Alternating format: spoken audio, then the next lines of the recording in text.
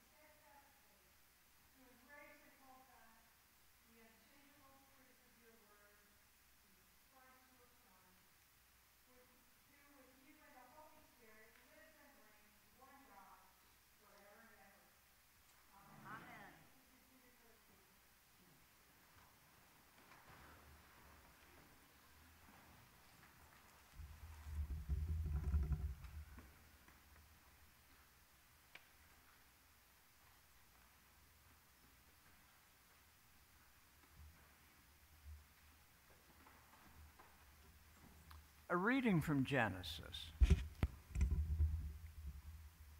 When Abram was 99 years old, the Lord appeared to Abram and said to him, I am God Almighty. Walk before me and be blameless. And I will make my covenant between me and you, and will make you exceedingly numerous. Then Abram fell on his face, and God said to him, As for me, this is my covenant with you. You shall be the ancestor of a multitude of nations. No longer shall your name be Abram, but your name shall be Abraham. For I have made you the ancestor of a multitude of nations. I will make you exceedingly fruitful, and I will make nations of you, and kings shall come from you. I will establish my covenant between me and you and your offspring after you throughout their generations for an everlasting covenant to be God to you and to your offspring after you. And God said to Abraham, As for Sarai, your wife, you shall not call her Sarai, but Sarah shall be her name. I will bless her, and moreover, I will give you a son by her. I will bless her and she shall rise, give rise to nations. Kings of people shall come from her. The word of the Lord. Please join with me to pray together Psalm 22, verses 22 to 30, as found in your bulletin. Praise the Lord, you that fear him, and stand in awe of him. O offspring of Israel, all you of Jacob's line give glory. For he does not despise nor abhor the poor in their poverty, neither does he hide his face from them, but when they cry to them, he hears them. My praise is of him in the great assembly. I will perform my vows in the presence of those who worship him. The poor shall be eaten, be satisfied, and those who seek the Lord shall praise him. May your hearts live forever. All the ends of the earth shall remember and turn to the Lord, and all the families in the nations shall bow before him. For kingship belongs to the Lord, he rules over the nations.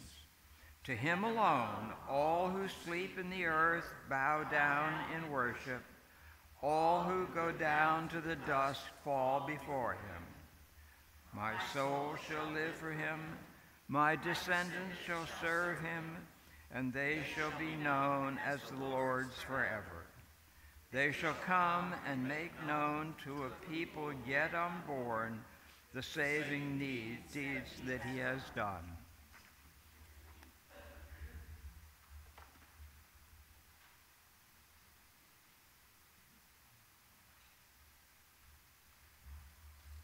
A reading from the letter of Paul to the Romans. For the promise that he would inherit the world did not come to Abraham or to his descendants through the law, but through the righteousness of faith. If it is the adherents of the law who are to be the heirs, faith is null and the promise is void. For the law brings wrath, but where there is no law, neither is there violation. For this reason, it depends on faith, in order that the promise may rest on grace and be guaranteed to all his descendants not only to the adherents of the law, but also to those who share the faith of Abraham. For he is the father of all of us, as it is written, I have made you the father of many nations. In the presence of the God in whom he believed, who gives life to the dead and calls into existence the things that do not exist. Hoping against hope, he believed that he would become the father of many nations, according to what was said, So numerous shall your descendants be he did not weaken in faith when he considered his own body, which was already as good as dead, for he was about a hundred years old, or when he considered the barrenness of Sarah's womb. No distrust made him waver concerning the promise of God, but he grew strong in his faith as he gave glory to God, being fully convinced that God was able to do what he had promised. Therefore his faith was reckoned to him as righteousness. Now the words, He was reckoned to him, were written not for his sake alone, but for ours also. It will be reckoned to us who believe in him who raised Jesus our Lord from the dead, who was handed over to death for our trespasses and was raised for our justification. The word of the Lord.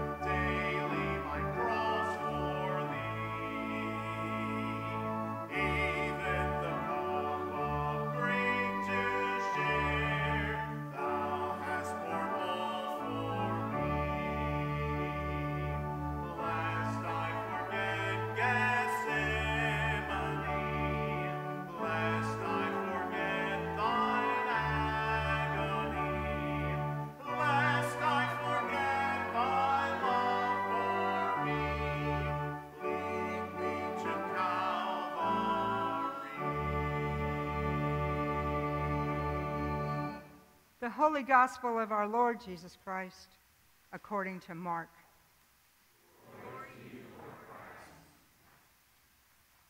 Jesus began to teach his disciples that the Son of Man must undergo great suffering and be rejected by the elders, the chief priests, and the scribes, and be killed, and after three days rise again. He said all this quite openly and Peter took him aside and began to rebuke him. But turning and looking at his disciples, he rebuked Peter and said, Get behind me, Satan, for you are setting your mind not on divine things, but on human things. He called the crowd, and with his disciples, he said to them, If anyone want to be become my followers, let them deny themselves and take up their cross and follow me. For those who want to save their life will lose it, and those who lose their life for my sake and for the sake of the gospel will save it. For what will it profit them to gain the whole world and forfeit their life? Indeed, what can they give in return for their life? Those who are ashamed of me and of my words in this adulterous and sinful generation, of them the Son of Man will be ashamed. And when he comes in his glory of his Father with the holy angels. The Gospel of the Lord.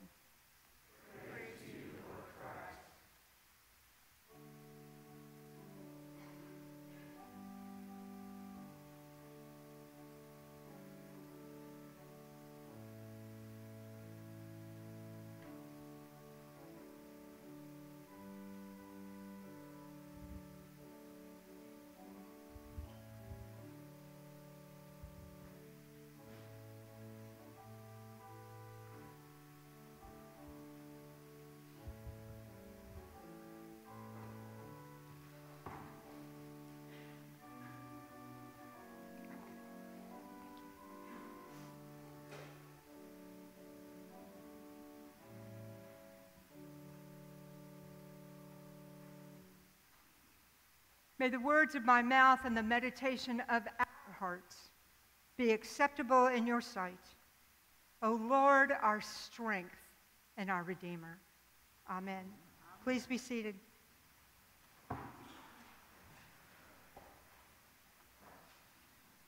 Peter, Peter, Peter.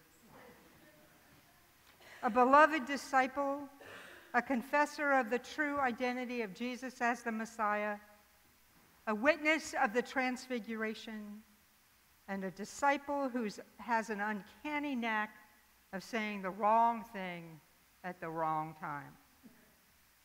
Truth be told, we are all Peter on his best day and on his worst. This morning in the gospel, Jesus has been teaching his disciples that the Son of Man must undergo great suffering, be rejected by the religious establishment, be killed, and then rise from the dead three days later. To be sure, these words were hard to swallow. None of the followers of Jesus could have imagined that their beloved teacher, their rabbi, their master, would be killed. What did it mean for his ministry, for them, and for his followers? For Peter, he thought of Jesus' death was more than he could handle. Previously, in the same chapter of Mark, when Jesus asked Peter who he thought he was, Peter said, You are the Messiah. But now, after hearing the foretelling of his death, Peter pulls Jesus aside and says, This is not consistent with you being the Messiah. How could Peter have gotten this so wrong?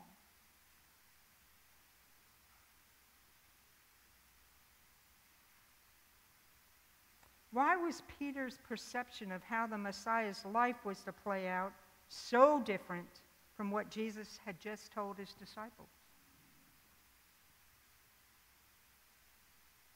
The clues can be found in the messianic promise. The messianic expectation, expectation varied among the Hebrew people. The com- most common was the one that the Messiah was, once the Messiah was identified, he would deliver the Jews from the Roman Empire's oppression and restore the power of the Davidic kingdom. It was believed that since Galilee was the hotbed of revolutionary activity, the Messiah would come out of that region. Once the Messiah was identified, they believed that he would be the one to liberate the children of Israel and restore power to the Davidic throne. The Messiah, Peter and many others were looking for, would rule with power and might and not be killed at the hands of his enemies. Jesus rebukes Peter with very harsh words, which must have cut him to the core. Get behind me, Satan, for you are setting your mind not on divine things, but on human things. The human expectation for the Messiah. Like Peter, we often create a Jesus to be the kind of God we want him to be.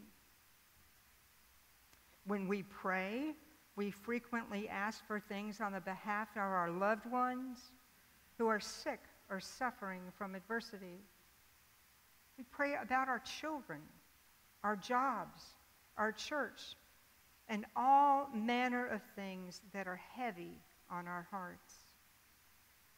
Much of the time, we are focused on temporal or worldly things and not on heavenly things. Our own wants and desires consume us, and we lose sight of asking God for what is best for us. We generally ask for our will to be done, not His will to be done.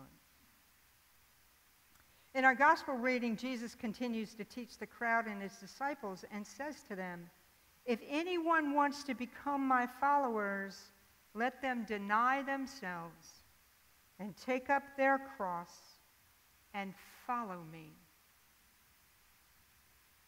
To be a faithful follower of Jesus is no easy task since we have the propensity to want to chart our own course and destiny and create our own God who grants our desires. But Jesus calls us to take up our cross and follow him, not to walk beside him, but to follow him. The cost of discipleship does not come easy or without sacrifice. The life of a Christian is not a fairy tale or without trial and tribulation. Jesus promises that as his disciples, we will experience both. But we never have to face it alone. Jesus promises us that he will be with us to the end of the age. At some point in our Christian journey, we discover that by losing our life and following Jesus, we gain a life that is more abundant and more joyful than we could ever imagine. When we nestle ourselves in the Father's love, then we begin to live in God's kingdom in real time. God's kingdom, in God's kingdom, there is more love and less drama, more love and less hate, and more self sacrifice than self indulgence.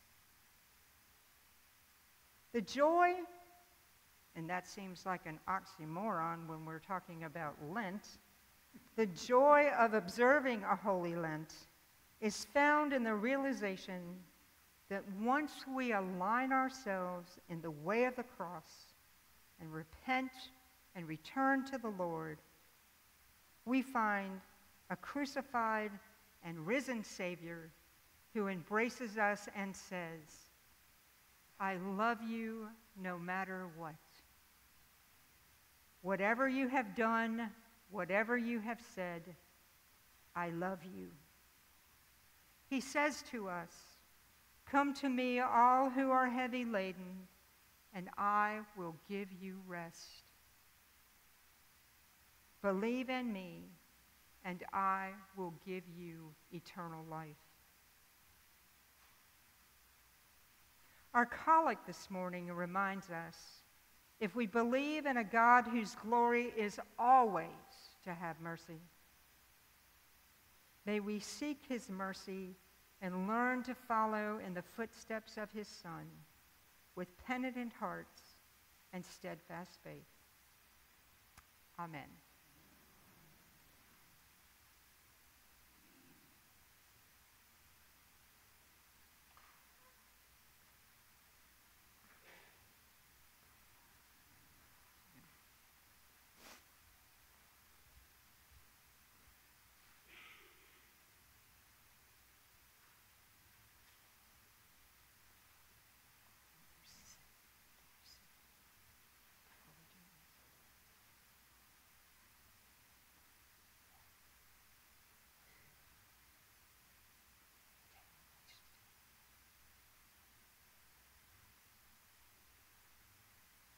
Please stand as we affirm our faith in the words of the Nicene Creed.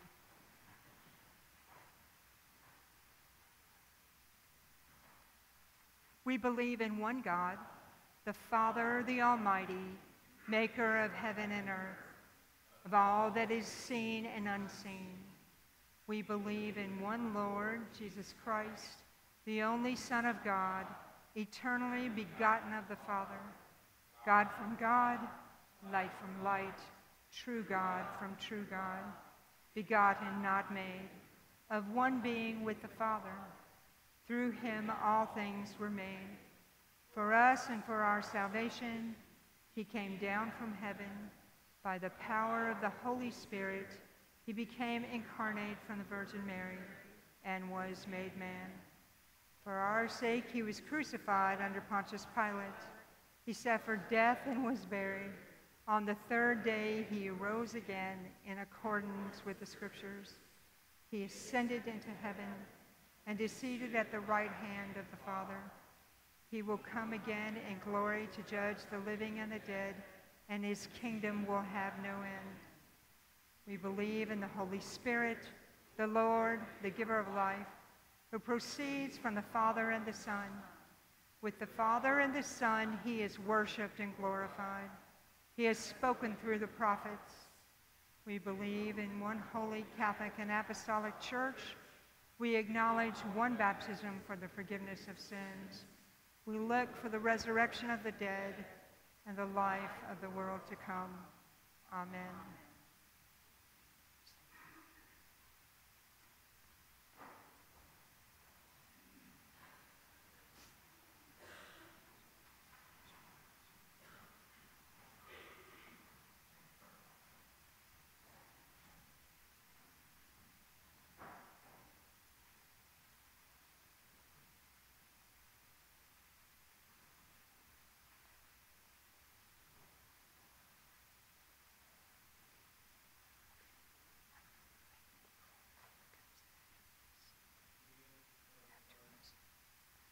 Give praise, all you who fear the Lord. Proclaim God's greatness. With thankful hearts, let us pray. O righteous God, increase our faith. Lord Jesus, you invite us to follow you. Give your church the courage and will to risk any and everything for the sake of the gospel. May we be bold in witness and resolute in discipleship. O righteous God, God the King, you rule over the nations. Hear the cries of those living in poverty. Give the leaders of nations a heart for the poor. O righteous God. God of Sarah, you bring life out of barren places. Renew the creation. Forgive us for our misuse and neglect of your gifts. Help us to live as good stewards. We give you thanks for Susie Peters and Lisa Meadows as they celebrate birthdays. O righteous God. o God, whose glory it is always to have mercy, be gracious to the church and the city. Strengthen your parishes as we make our Lenten journey. May we faithfully increase known your saving deeds. O righteous God. Gracious Lord, you hide not your face from those in need. We trust in your faithfulness. Hear our prayers for those in pain and distress. We pray especially for Tyler, Randy and Donna, Mona, Phyllis, Peggy, Larry, Kay, Charlotte, Gerald and Nancy, Elsa, Chappie and Sarita, Sheila, Sally, Tommy, Jackie, Crisp, Paula, Grace, Shine, and Michael and Nancy. O righteous God, ever, ever, ever living God, you give life to the dead and call into existence the things that do not exist. Hoping against hope, we trust in your eternal promises and look for the day of resurrection. O righteous God,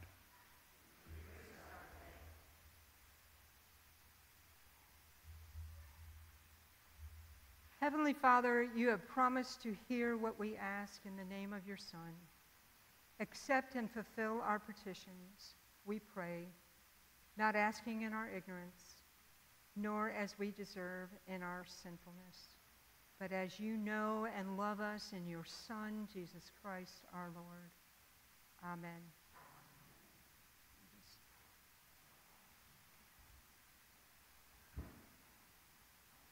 Please stand as you are able.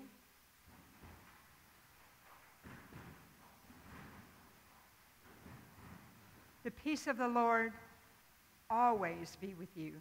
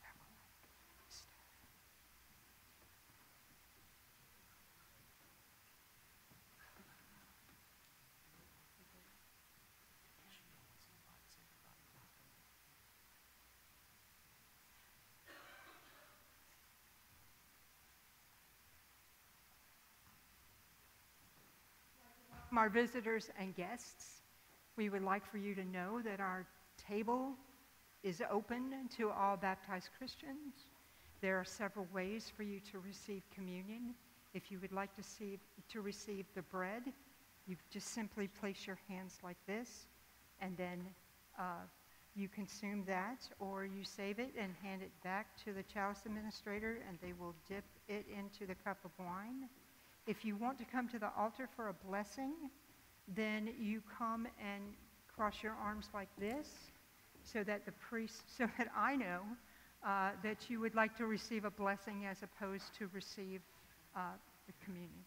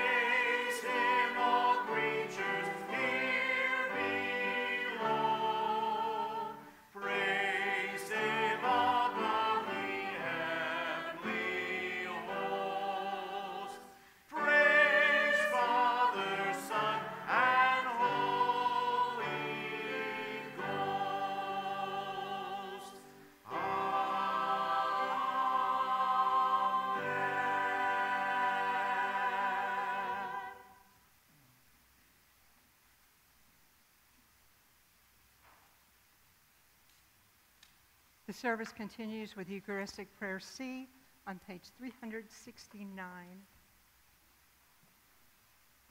The Lord be with you. And also with you. Lift up your hearts. We lift them to the Lord. Let us give thanks to the Lord our God. It is right to give him thanks and praise. God of all power, ruler of the universe, you are worthy of glory and praise. Glory to you forever and ever. At your command, all things came to be.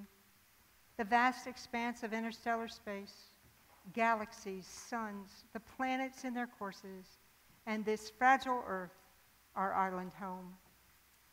By your will they were created and have their being. From the primal elements, you brought, us, you brought forth the human race and blessed us with memory, reason, and skill. You made us the rulers of creation. But we turned against you and betrayed your trust, and we turned against one another. Have mercy, Lord. For we are sinners in your sight. Again and again, you called us to return.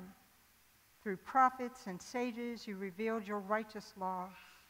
And in the fullness of time, you sent your only Son, born of a woman, to fulfill your law, to open for us the way of freedom and peace.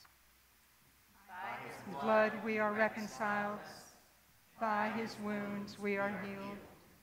And therefore we praise you, joining with the heavenly chorus, with prophets, apostles, martyrs, and with all those in every generation who have looked to you in hope to proclaim with them your glory in their unending hymn.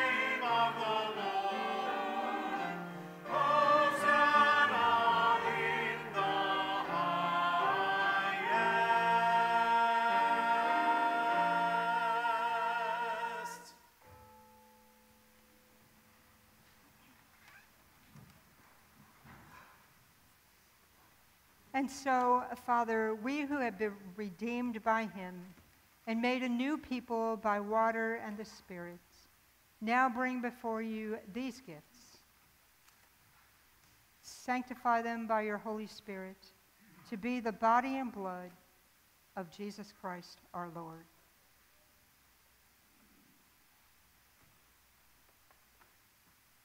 On the night he was betrayed, he took bread, said the blessing, broke the bread, and gave it to his friends and said, Take, eat. This is my body, which is given for you. Do this for the remembrance of me.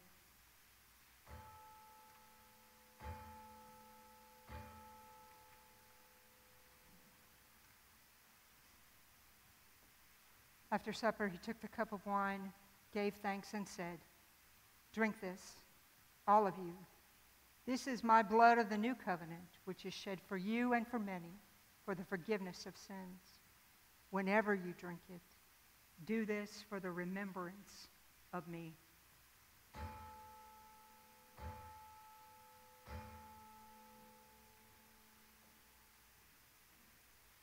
Remembering now his work of redemption and offering to you this sacrifice of thanksgiving, we celebrate his death and resurrection as we await the day of his coming.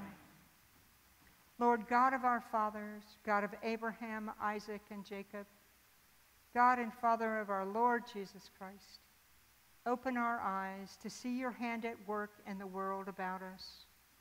Deliver us from the, from the presumption of coming to this table for solace only and not for strength, for pardon only and not for renewal. Let the grace of this Holy Communion make us one body, one spirit in Christ, that we may worthily serve the world in his name. Risen Lord, be known to us in the breaking of the bread.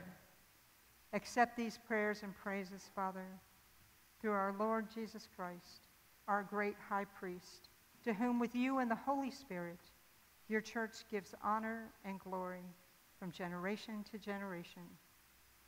Amen.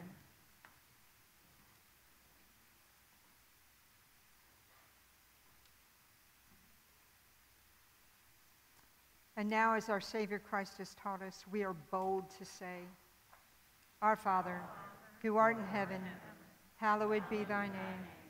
Thy kingdom come, thy will be done, on earth as it is in heaven. Give us this day our daily bread, and forgive us our trespasses, as we forgive those who trespass against us. And lead us not into temptation, but deliver us from evil. For thine is the kingdom, and the power, and the glory, forever and ever. Amen.